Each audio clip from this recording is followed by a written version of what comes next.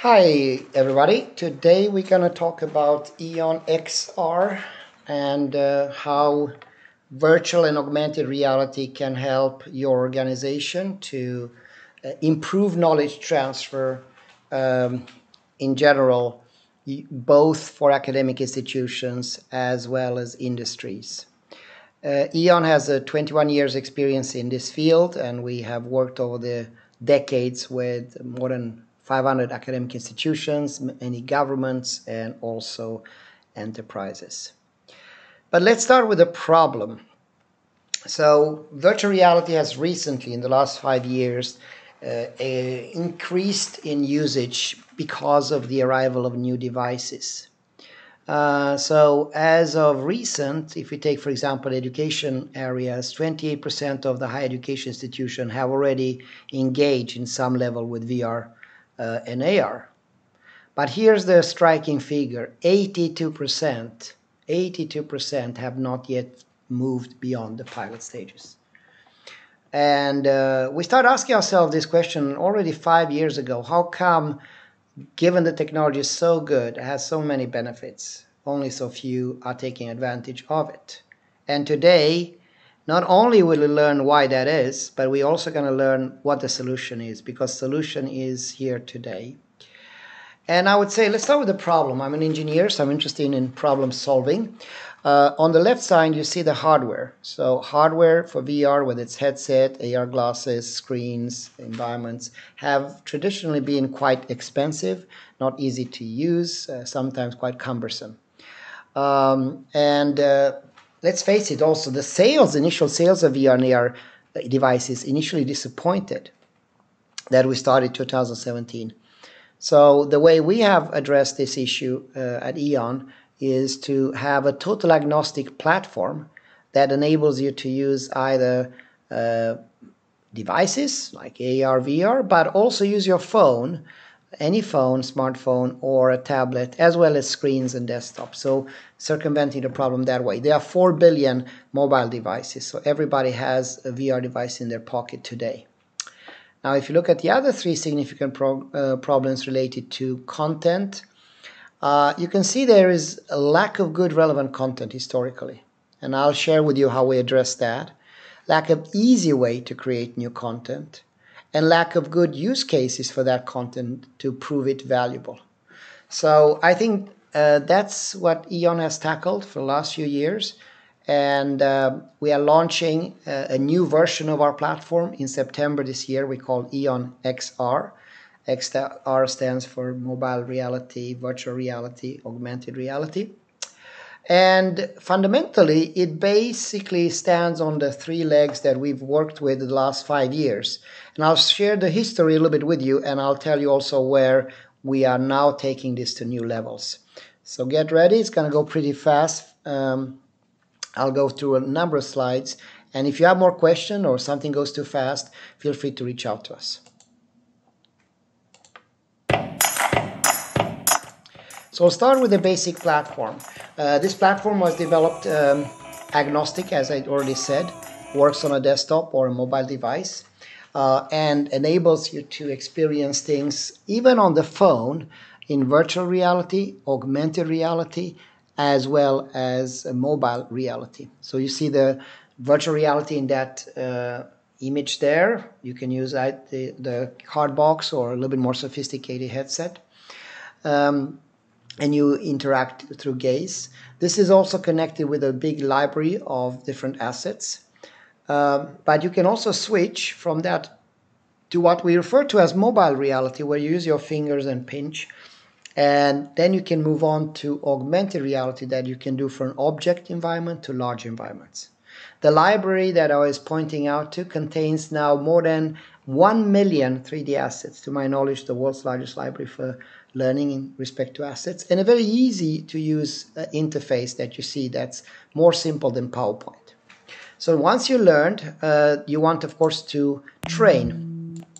So the same application uh, platform that we use for learning is now extended to training.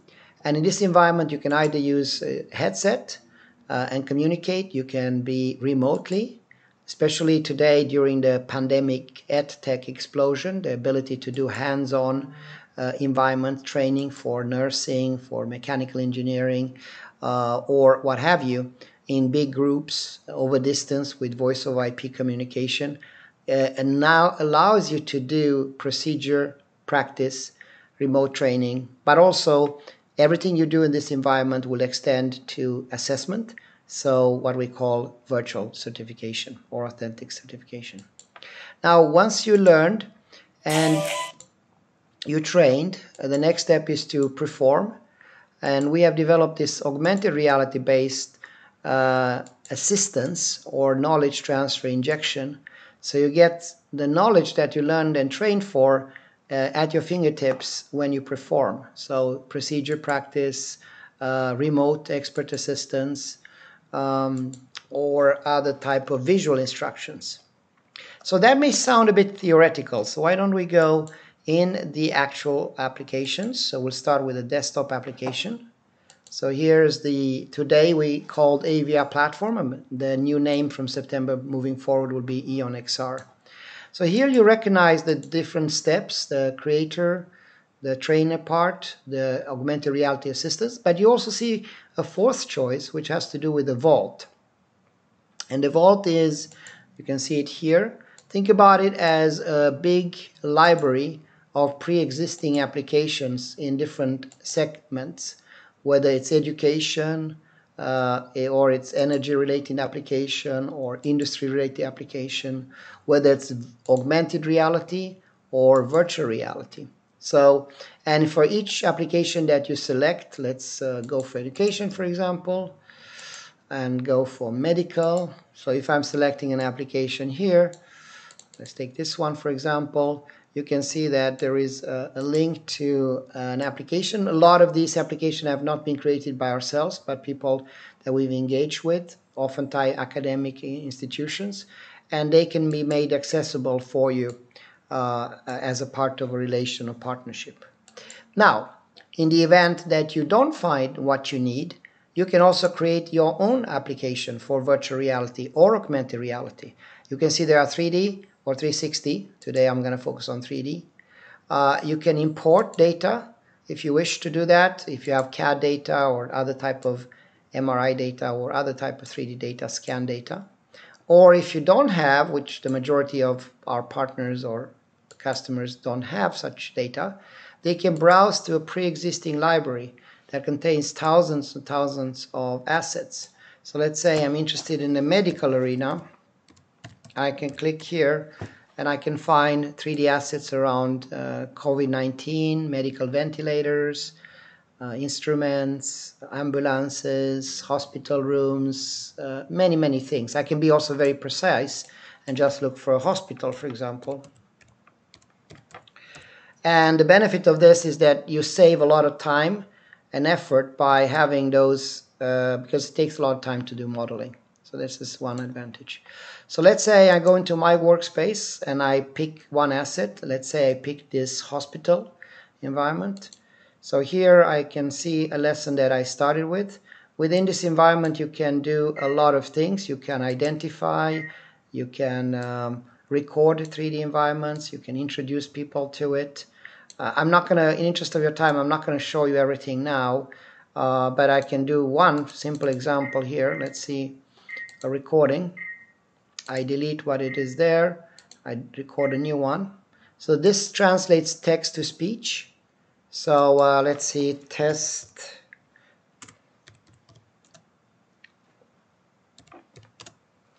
So I say test of hospital consists so and so. I select the voice.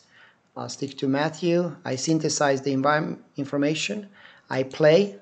Test of hospitals consist of departments. Tradi- test of hospitals. So then I can click on that. Or if I'm not satisfied, I can go back and try again. But now I can switch, for example, different languages Arabic, English, Chinese, Dutch, many, many other type of languages. So this type of memos I can put as voice in different locations. Um, I can then also record, for example, let's say I want to do a 3D recording. In this environment, I can do that if I wish. So there's many things that uh, I, time doesn't allow. If you're interested in this and you want to learn more, let me just, the reason it wouldn't allow me is there. Okay, cancel. And then go to 3D recording. Um, and then I delete that recording. And now I create my own recording here. Hello, today I'm going to do a little test and explain why, how you can use a ventilator to save the life of four patients versus one by simply reconfiguring it. And let me show you the different areas here and etc etc so this could be a step-by-step -step procedure or what have you. So now play it hello today I'm going to do a little test and explain why how you can use a ventilator to save the life of four patients versus one by simply reconfiguring and once I'm done with this I can click on save and then I have my lesson so let's say I have my lesson and I want to apply it and somehow how do I do that um, I mean, you can apply it obviously to a headset. You can apply it to a desktop screen. you can apply it to a phone. And I'll start with a phone. This is because you can do quite a lot of cool things if you have your phone available. Let me just share that with you. Uh, so now, let's see, one second. Yeah, it takes a little while to link. Okay, I'm sharing my screen. So you should be able to see my phone screen momentarily. Yeah, you see it. And then I'm going to the Creator AVR app. And this is uh, something you can download today from uh, or from on your phone. You can go to Google Store.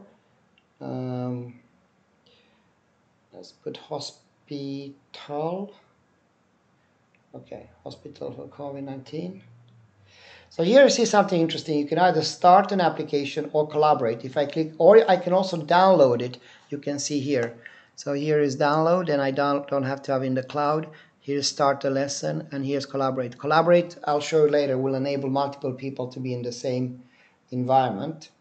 Um, and you can be in the same environment, let's say in augmented reality, for example, 30 nurses in this hospital room, that then can talk with each other like you do in Zoom uh, with voice of IP, but interact in that, be hands-on in that uh, hospital or what have you. Other things you can do on mobile that it's not easy to do on desktop is you can convert this phone into a virtual reality device. You can see here, here is AR conversion, this is VR, and this is the mobile mode. So now I'm manipulating this and you can do a number of things. You can graph things, you can show annotations, you have a whole lesson scenario, etc. But now for simplicity, I'm going to go directly to AR. So now you can see my hand here left uh, and I touch the surface and I want to go to, let's say, the medical ventilator. There's my medical ventilator. I'll turn on the annotations. I can rotate it. I can see how it fits in the context of the bed. So now I have the whole medical bed, but I want to make it a little bit bigger so I can put it life size. Oops, it's a little bit too big, sorry. I'll pinch it right, rotate it, and there you can see what I meant. Now in this environment I can move forward. I can go, for example, to the patient monitor, the IV, uh, and I can interact with any aspect of this. I can also do something else. If I want to see more context, let's see, I put it here, and now I'll turn it around and I'm looking at the whole hospital room again. But now I'm going to dive into this hospital room. Uh, so one yard in reality is one yard in this augmented environment. So now I'm there, and now I can walk it. I walk around, I can look at different things. I'm totally immersed in this environment. Although, if I put on X-ray vision, I will be able to see through where I, I am at the moment. So it's a very convenient way of uh, applying the technology in this way. So that's it. Let's go back. Stop there. So in conclusion, with this platform, you can either uh, access the platform and get what we call an easy way of creating and consuming knowledge related um, content. It's effortless to, to do, it's affordable, it's self service, meaning that it's aimed for the users to develop it. It is interconnected between virtual and augmented reality, and it has access to many more assets now. We passed a million. Or you can make it comfortable and choose the Vault, and the Vault has more advanced complete application that address specific needs.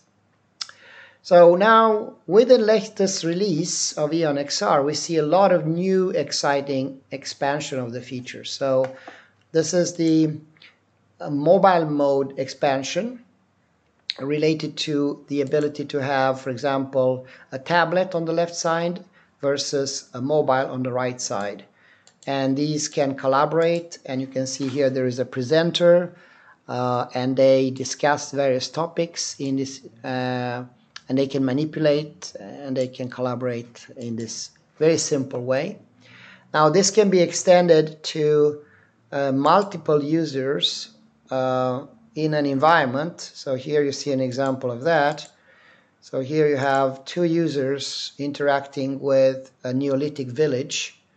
Um, and here you see someone working and showing to other participants how to disassemble this uh, specific engine. I think it's an aircraft engine, maybe it's a GE, General Electric uh, turbofan. And you can see who it is, and you can see that uh, that person is uh, interacting uh, real time. Um, and here you see uh, a biology application where the, you can see that the manipulation happens through the phone. So they can hold the phone and have full freedom and look through it as you look through a binocular in order to interact. It's a very engaging, very fun, but also a way to collaborate that is uh, almost unheard of for educational purposes. The best part, it works on your phone. Uh, you can also do things like multiple 3D recordings. Uh, you can do a 360 environment that then links to uh, a 3D object you can also do something very exciting, which is the ability to have a teacher recording an assessment procedure, let's say how to replace the generator on this engine. And that uh, recording then translates into a step-by-step instruction automatically. Uh, and then the student can perform, watch the right procedure, perform the same uh, step-by-step herself, and then uh, once she's ready, she can do an assessment, and then the system will automatically see here that she has 82% completion, no missed on unnecessary steps. Uh, so this really generates an authentic assessment, uh, assessment very quickly. Another very interesting new feature is the ability to populate the various memos automatically. So if you remember, I showed you just a few minutes ago how you could put text into subcomponents or components of a VR application. Now, instead of doing that manually, the system now is connects with uh, Google, Wikipedia, and in this case, I was trying to do a lesson about the Mir station, and I'm more interested in a subcomponent called Spektr. I don't know what Spektr is. The system automatically identifies the Spektr is a fifth module of the Mir station, and and I can get information what it is, how it works, why it's working.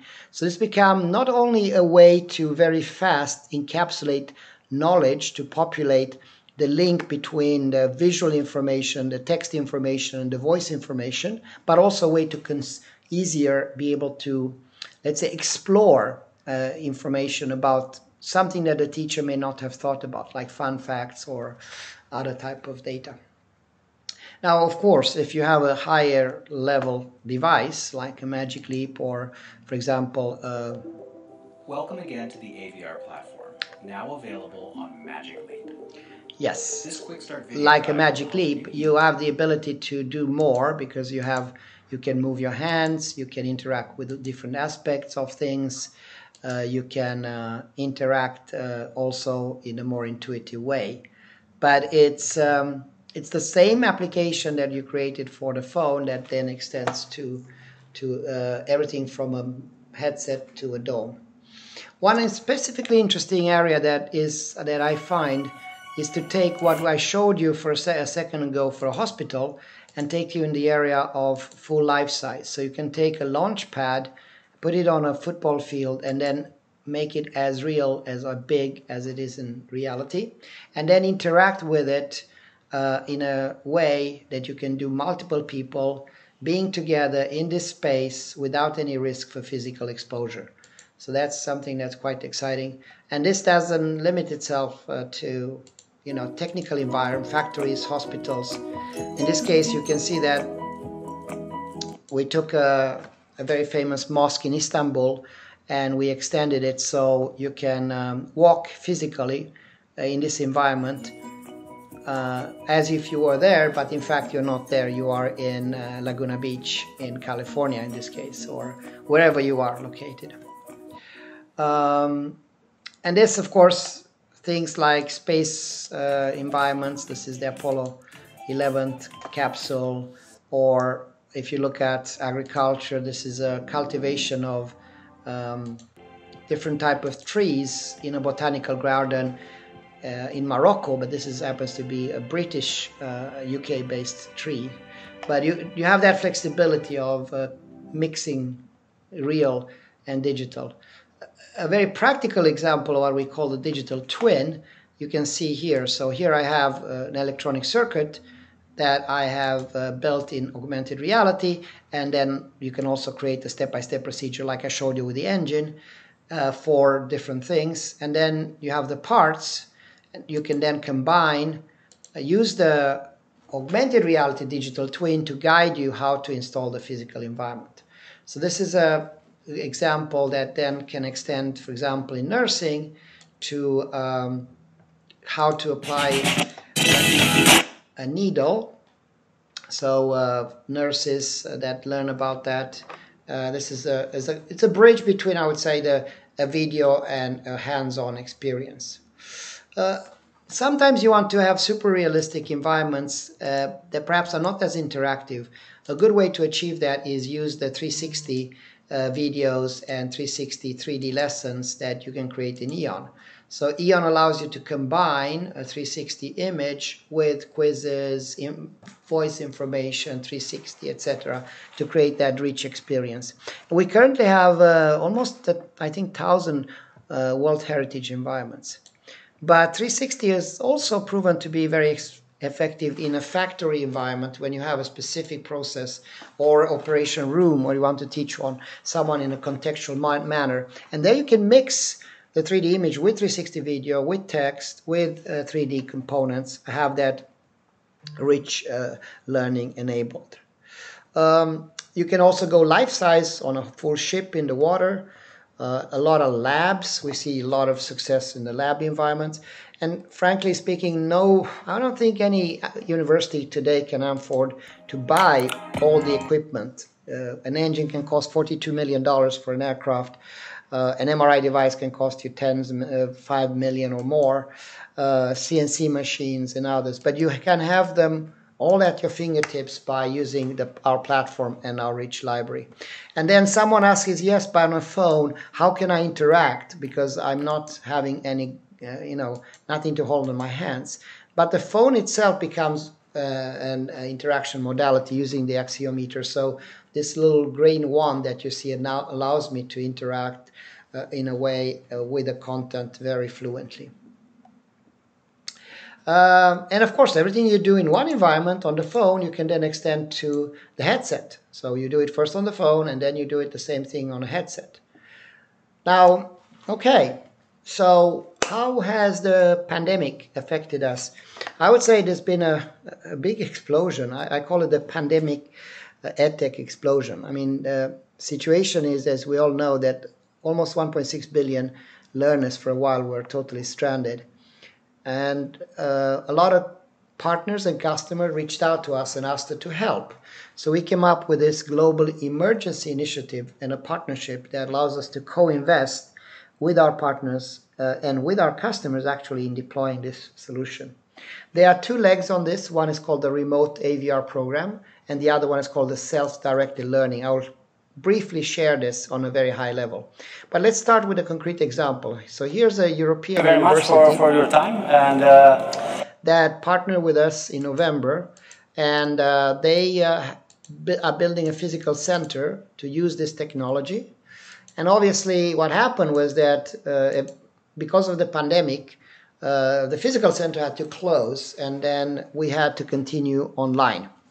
So this actually was a blessing in many ways because, as you can see, when we started in the physical environment, we had uh, 689 users initially, or planning for the physical environment, and then when, during March, when we start going online, you can see that we got this spike of uh, almost 7,400 users. And if you can see the 3D assets, we have a si- similar spike on the creation of 3D assets. And how is that possible? How can a, a, a partner create so many assets and have so many students engaged? And this is what I will be focusing on the rest of the presentation, and this is what I hope we can do together.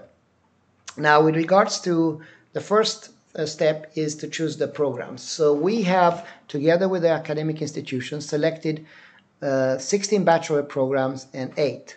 And those are areas where virtual and augmented reality can make a big difference. Mechatronics, health science, agriculture, um, architecture, electricity, energy, media, communication, construction, etc.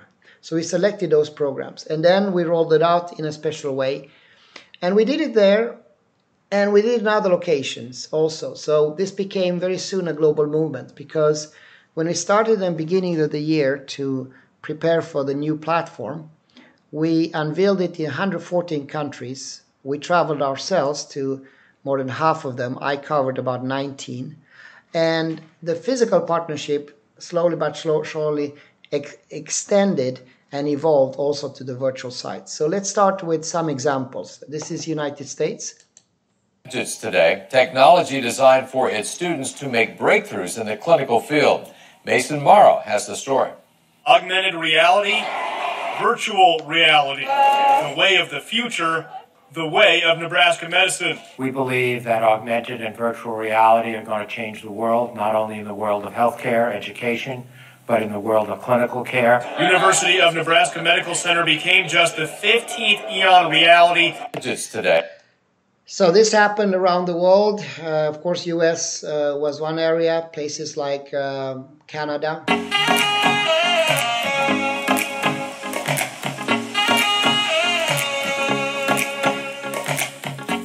In interest of time, but this is the avionics department that had an old aircrafts, and then they migrated to virtual reality, and they were able to work with the latest aircrafts and do also fault analysis and other things. And of course, uh, as a part of the global movement, we also signed a big partnership in India, uh, in Spain, in uh, Switzerland, uh, places like North Africa, Morocco, Japan, Malaysia, uh, China, multiple locations there, uh, and, and also places like Italy. Um, so, what we did with these partnerships during the pandemic is we acknowledge the fact that schools are closed, acknowledge the fact that traditional online uh, there's two issues there. One, of course, that students tend to be less active and, and perhaps less engaged. Um, there are studies showing that after six minutes on online video, students tune out. But beyond the fact that they may not be engaged, uh, the bigger issue is that we, we address is the ability to do hands-on learning uh, through this solution or gather large groups and interact virtually without risk for physical exposure or have access to massive amount of laboratories that you can interact and engage with as well as the authentic assessment i showed you earlier and the self-directed learning. And i'm going to deep dive a little bit on the last one because that's that's quite interesting so the idea is that uh, in this remote environment you connect uh, a session with your phone and then you start interactive naturally in this environment. You can also work with physical and virtual, so you can have your digital twin, like you see here, to do uh, interacting between the physical and virtual. Um, and the self-directed learning is very exciting. It's based on the belief that students learn better to active and participatory learning. Uh, and it's based on guideline developed by University of New South Wales, uh, used by schools as MIT and other. And what the principle with this is to develop the 21st century critical skills uh, and where enable students to explore, question, react, and respond in a cooperative manner. So there's a nine-step approach, and this is the approach that allowed University of Business Technology to get that hockey stick that you showed earlier in terms of users and content development. So the first step is to identify the lecturers and the programs. Then they have to identify the students, let's say 3,000 students, that could be a good way to start. Then we are responsible to host a series of workshops, both to see how this works and train and teach the students and the teachers how to use it on a desktop, how to use it on a, a mobile device. And then once that is done, teacher will outline with our guidance uh, the learning outcomes so each student can create 10 lessons applications um, on specific topics that they will learn within that semester. So these are not, um, let's say, uh, extracurriculum activities, this is part of the curriculum itself, like a laboratory or like a sandbox for them to explore and learn and collaborate. We give them uh, some guidelines. These have been developed by Dr. Peter Looker. He uh, is our chief learning officer, and previously he was running NTU's learning, so head of learning for NTU, the number one ranked university in Asia, and I think they are number among the top 12 in in the world. Um, and as a part of this, the students also have to publish and share uh, applications that they created, and they get reviewed by peers, they get reviewed by statistics, uh, and then we evaluate them. Uh, so, uh, and then finally, uh, the students have to explain and present to each other, and they will be asked how successful the lesson is.